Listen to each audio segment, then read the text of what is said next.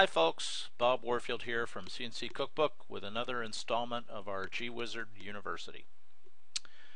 Today we're going to go over the conversational CNC OD taper wizard for lathes in our G-Wizard editor software. First, what is conversational CNC and why would you use it? The idea behind conversational CNC is to make it quick and easy to produce G-code for simple tasks quicker and easier than having to do a CAD drawing and run your CAM software.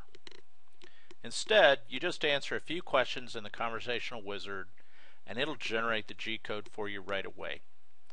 Conversational CNC makes it super fast and easy to do simple parts just like you would when you're manual machining. Although with CNC and a conversational wizard, it's even faster and there's more powerful things you can do than you could probably do with manual machining very easily. Conversational CNC is not designed to replace CAM software. For more complicated parts, you're going to want the CAM. But for anything simple, it's hard to see why you'd take the time to fire up your CAD CAM when you could just do it with conversational CNC.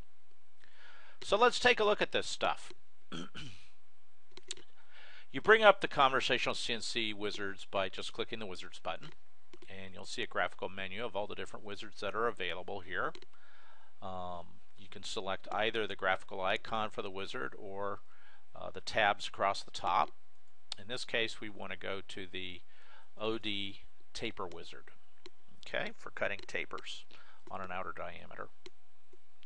Now you can define any taper you'd like. You give it the uh, uh, end of the taper and the start of the taper, the diameter, uh, and the degree angle.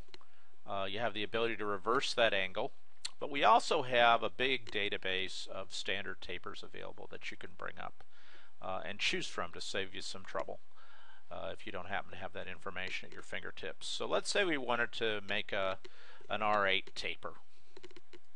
We'll just go down and select that click OK and now we've got all the right information to do an R R8 taper uh, that starts at 0 uh, goes back to minus 0.9375 inch and a quarter diameter 8425 degrees.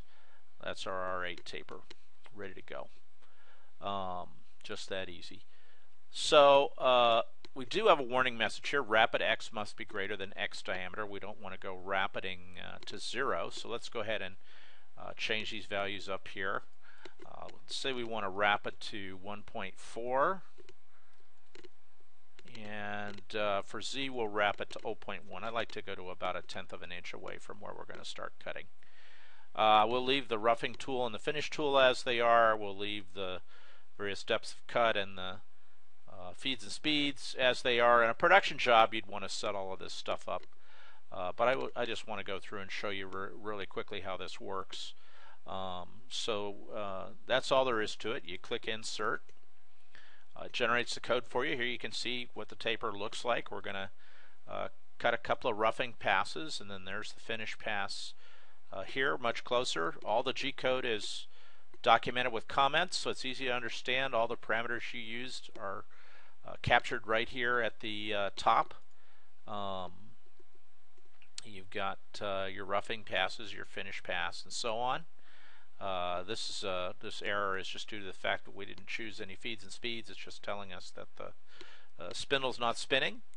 Uh, but that's really all there is to uh, doing an OD taper. Really quick and easy with this thing. So we hope you'll give the OD taper wizard a try sometime, and thank you very much for listening.